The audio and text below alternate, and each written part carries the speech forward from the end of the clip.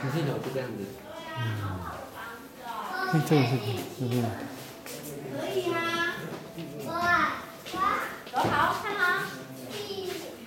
就随便按一小。心哦，后面有啊，有人要看哦，你要小心哦。我看不到。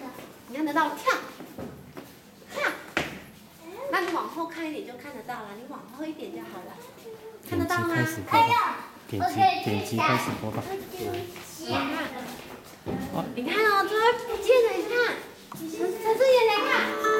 武举制度是科举制度中的一种，由兵部主持考试。